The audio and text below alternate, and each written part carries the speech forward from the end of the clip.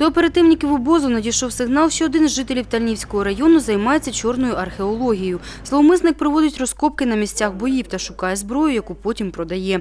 Аби перевірити інформацію, працівники обозу провели кілька контрольних закупок. При першій оперативній закупівлі було придбано п'ятизарядний кишеньковий револьвер Бульдог німецького виробництва заводського. При другій оперативній закупівлі було придбано магазинну гвинтівку Мосіна калібру 7,62 мм. Після чого працівниками ОБОЗ вказаний громадянин був затриманий. Під час затримання в автівці злодія правоохоронці виявили цілий арсенал.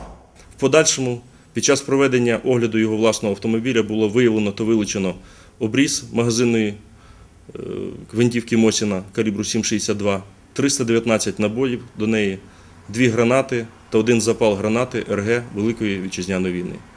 За висновками експертів, вся вилучена зброя перебувала у відмінному стані та була цілком придатною для використання.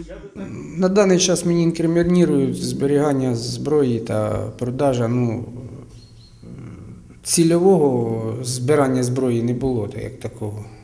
За словами затриманого, усю знайдену під час розкопок зброю він віддавав до музею як історичну пам'ятку. Я співробітничав з музеєм і з краєзнавчим е, районним. Ну, по-російськи це як це? По, ну, поощрялося, що е, давай експонати, е, будемо співробітничати, щоб все було нормально. Тільки я хотів це все діло узаконити, щоб не, так сказати, не порушувати закон, а вийшло, що я його порушив.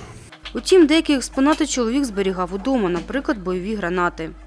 Гранату зберігав, да, дійсно зберігав. Я збирався її передати в музей, деак- деактивувати і передати в музей. За фактом злочину проти чоловіка порушили кримінальну справу за статтею 263 Кримінального кодексу України.